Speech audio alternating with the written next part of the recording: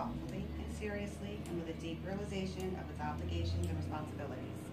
If anyone can show just cause why this couple should not be lawfully joined together, speak now or forever hold your peace. You good? I'm fine. All right. Gerald, will you take Honest- Augustina for your lawful wife? yeah, I do. And Augustina, will you take Gerald for your lawful husband? Yes. Okay, you'll turn and face each other and join hands as best you can. You can hold this too. All together? Yeah, that's fine. Um, and repeat after me. I, Gerald, I, Gerald, take you, Augustina, take you, Augustina, for my lawful wife, for my lawful wife, to have and to hold, to have and to hold from this day forward. from forward, this day forward, for better, for worse, for better, for worse, for richer, for poor, for richer, for poor. richer.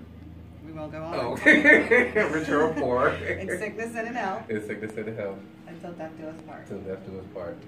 I, Augustina, Take you, Gerald, take you, Gerald, for my lawful husband, for my lawful wife, to have and to hold, to have and to hold. From this day forward, from this day forward, for better, for worse, for better or worse, for richer, for poor, for richer or poor, in sickness and in health, in sickness and in health, until death do us part. until death do us part. By the power and authority vested by law in me as an authorized deputy clerk for the Circuit Court for Prince George's County, Maryland, I now pronounce you husband and wife. All right. Congratulations. I don't know if you want to distribute that. Sweet.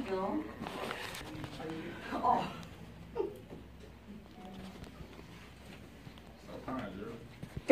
Right, I should have got you to go. Sorry.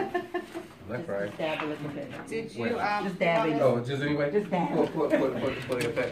do you want me to snap a group picture real quick so everybody's in it, or? Sure. We'll do that. I's married Yeah, so, no, it's sweaty. Always. Like twenty-five years later, they still sweaty. Thank you, thank you, thank you. All right, you ready? What are you doing? you mad?